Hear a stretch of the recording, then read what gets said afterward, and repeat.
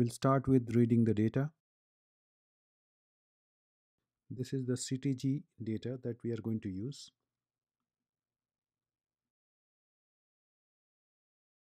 So I'm going to change the name to a shorter name. We'll just call it data. Let's look at the structure.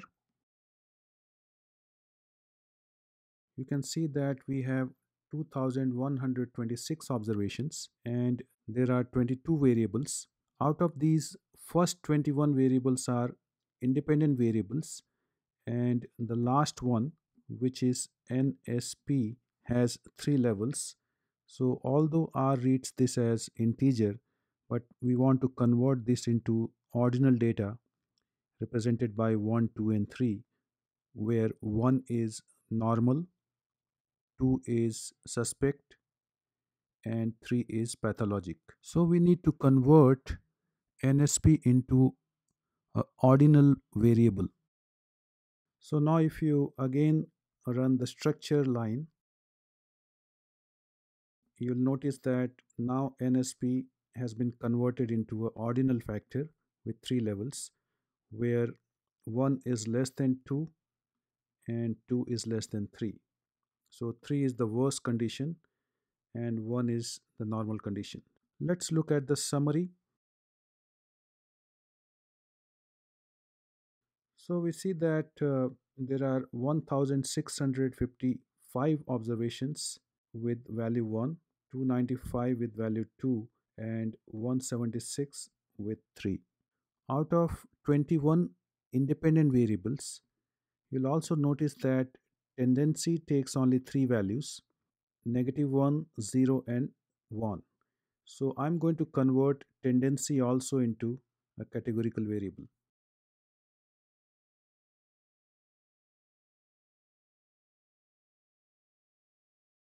Now I'm going to cross tabulate tendency and NSP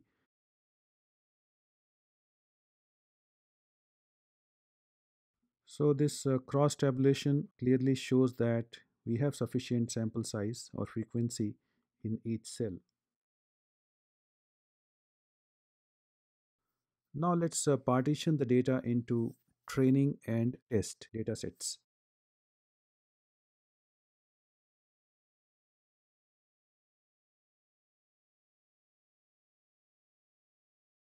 So we are going to partition this into 80% for training and 20% for testing. So we'll call first sample as train to represent training dataset and the second one will be test.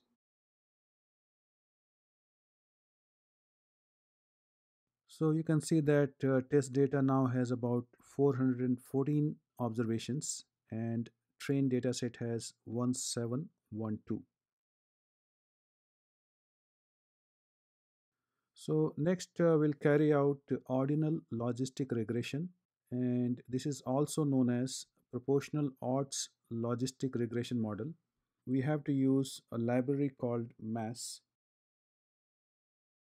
We are going to store the results in model the function that we will use is called POLR.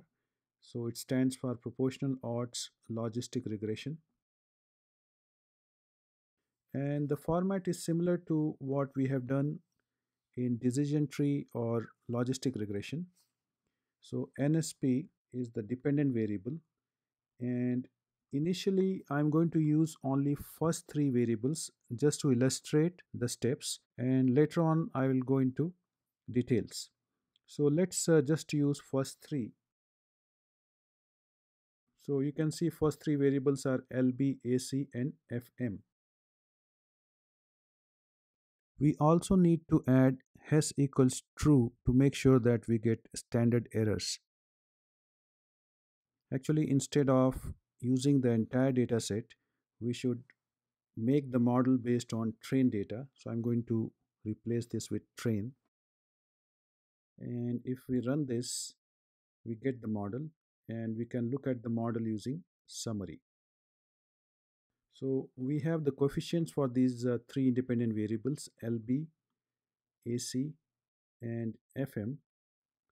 So the interpretation of coefficient for FM is that for 1 unit increase in FM, we expect about 6.3 increase in the expected value of NSP in the log odds scale and given that all other variables in the model are held constant.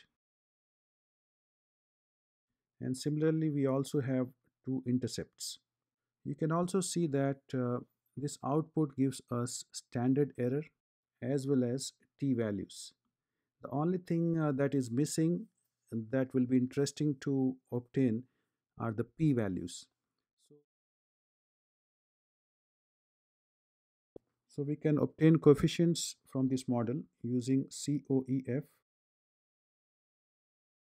We can assign this to C table which is coefficient table. And in fact I'm going to put parenthesis at the beginning and also at the end so that when we run this line we also get a printout. So when I run this line you can see we get all the values into one table.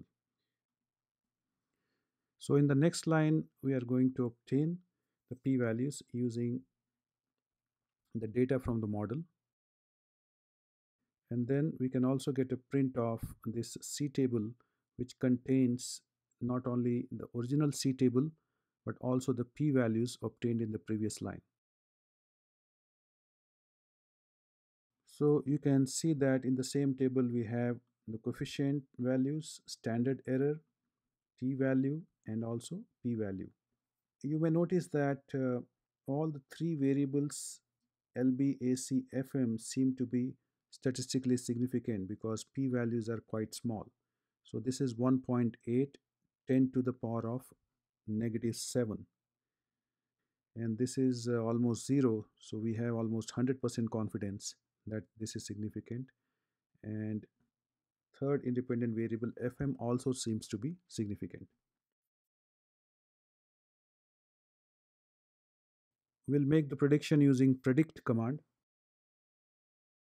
so this prediction will be done using the model coefficients. And for the data set, we'll make use of training data set. The only thing is just to illustrate it, I'm going to first uh, do this prediction for maybe first five observations. And the prediction we want to do is to predict uh, the probability so from the training data set, we want to make a prediction for first five rows. And let's put another comma. And for column we'll leave it blank. That means all the columns. And let's see what we have in PRED so we have a prediction for the probabilities. If you want to reduce this uh, number of decimals what you can do is you can print PRED digits equal to maybe 3. So these are the predicted probabilities that we have. So using these we can write down the equations and we can also find out the probabilities of NSP being 1 which is innocent or NSP indicating a value of 2 which is a suspect patient or when NSP is 3 where the patient is pathologic.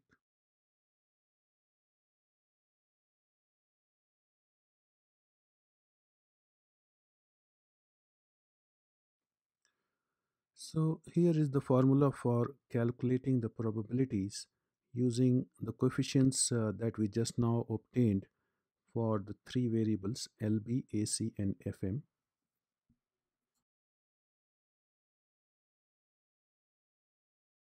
So we have this data from first five rows for these variables in the training data and let's calculate y. So the coefficient for LB is this number here.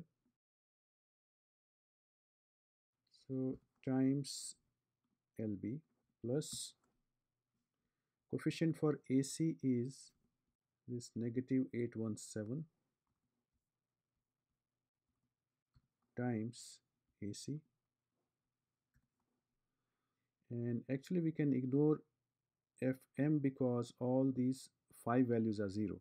So we don't need to use that third term. So these are the values for y for first five data points in training data. And then we calculate probability that this patient is normal or it's 1 so this is 1 divided by 1 plus exponential of negative alpha 1 so alpha 1 is this 4.97 etc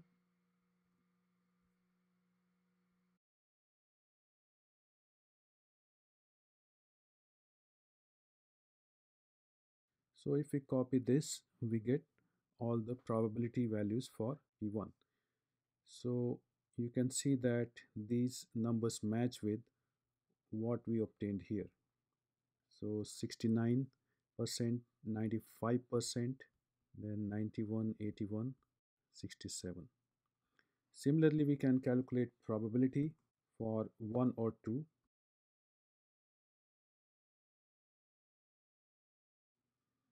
so alpha 2 is this number here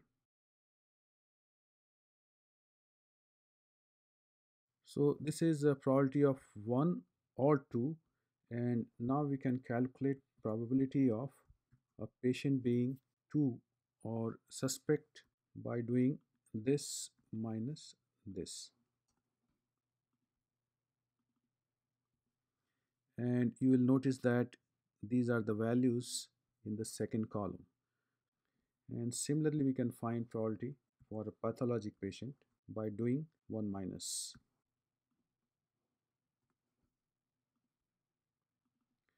and that's the third column that you'll see. So 9% 1% 2 5 and 10% so this is how these probabilities are calculated. So now I'll go back and make the complete model. So instead of uh, these three let's say we want to use all other variables.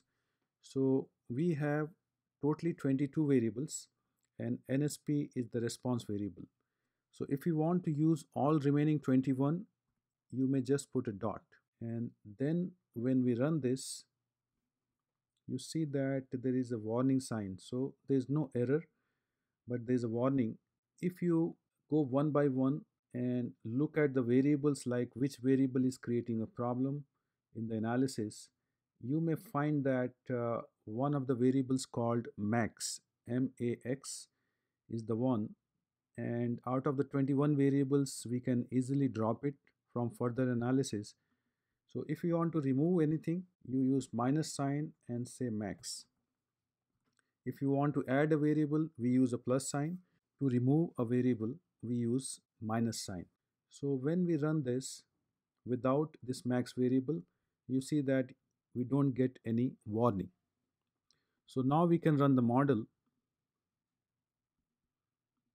So you can see all 20 variables are included and we don't have max. So let's also calculate p-value now and see which variables are significant. So you can see this last column here. Let's say in this analysis, uh, we want to include all those variables in which we have at least 90% confidence. That means the p-value of 0.10 or below is acceptable to us.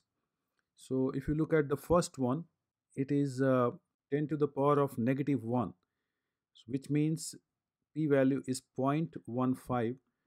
So our confidence level is uh, 1 minus 0.15, which is only 85%. LB is not contributing, so we can drop LB from further analysis. So let's keep on doing that. So I'm going to do minus LB to drop LB. Next variable is significant. This one also is significant with 90% confidence. Tendency 0 is not significant, but because tendency 1 is, we'll still keep it. so we also drop median so we have 1 2 3 4 5 6 variables out of 21 being dropped. And again check if we have any other variable which is not significant. After uh, running these steps we find that fm also is not significant now and mltv so this process continues till we find a set of significant variables and that will become our final model so now all the variables that are in the model are statistically significant. So we are going to treat this model as our final model and whatever coefficients we get, so those estimates can be used for making further predictions. So now let's uh, do the prediction for the entire train data set and we are going to remove this so that we can also do the calculations for confusion matrix. So we store the predictions in PRED.